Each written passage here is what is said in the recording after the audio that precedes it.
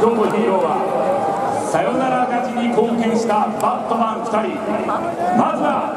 プロ初ホームランから2打席連続アーチユーフィーの誕生伊藤裕也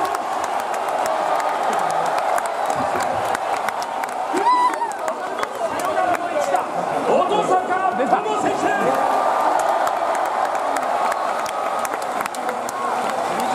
またプロ初ホームランを放ちましたまずあの打った時のお気持ちお願いしますえーまあ、正直入るとは思わなかったんですけど、あの何度か入ってくれてよかったと思います。プロで初めてダイヤモンドをゆっくりと一周しましたその時の気持ちというのはどうだったんですか？まあ、自分なりには結構一生懸命走ったんですけど、気持ちよかったです。昨日に活躍ですが昨日ラミレス監督がホームランを打つよと予言してましたその通りになりました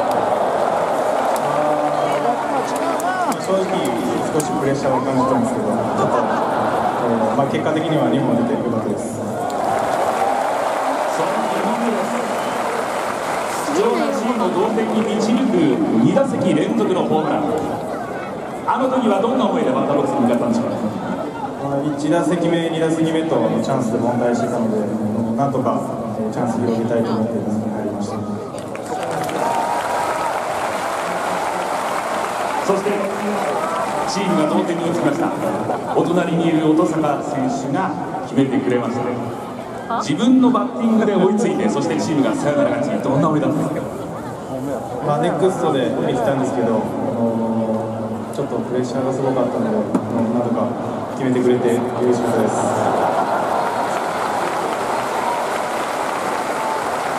その試合を決める一打はプロ初のサヨナラの犠牲ということになりました。音坂選手です。まず打球が回って。きましたさんな思いでバッターボックスに向かいましたえー皆さんつないでくれたくれたんで、えーなんとか力決めようと強い思いで迎えました。チャンスに強い音坂選手ですが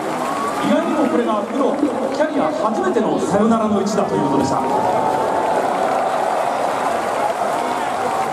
初めてです。サヨナラの一打決めた時の思いはどうだったですか？まあ、本当チームもいい位置にいるんで、えー勝てたのは。平田よく取ったんだよこれ。今日のゲームも3対0とリードされました。1点差に追いつきます。さらに突き放されました。また追いつきました。そしてサヨナラ勝ち。このチームの勢いというのはどう感じてますか？やっぱり、えーチームすごいいい雰囲気ですし、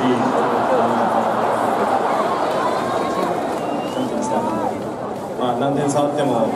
全員諦めないっていう気持ちが出てるんで、絶対勝てると思います。そのチームを同点に導いた2本のホームランのルーキー伊藤選手の活躍をどう見ますか？いやすごいスイングが鋭いなと思って見てました。さあこれで今日もまた勝って一気にムードが高まってきました。明日に向けての一言をまずはお父さんの選手からお願いしますえー明日もしっかりいい準備して絶対勝ちたいと思います。そしてプロ初の勝ちたいこの景色を伊藤選手どう見てますか下もさ最高です。伊藤選手のタオルを振って応援してくださる方も本当にたくさんいますそんな皆さんに向けてこれからの抱負を含めて初のお立ち台です自己紹介から皆さんに決意をお願いします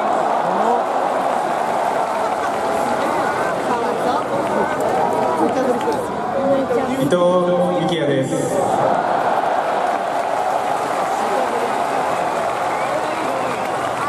えー好きな四文字熟語は？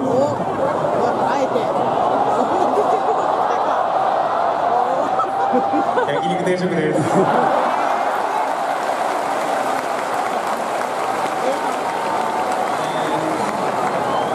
残りのあのシーズンもあの短くなってきましたがあの大事な試合が続くと思うので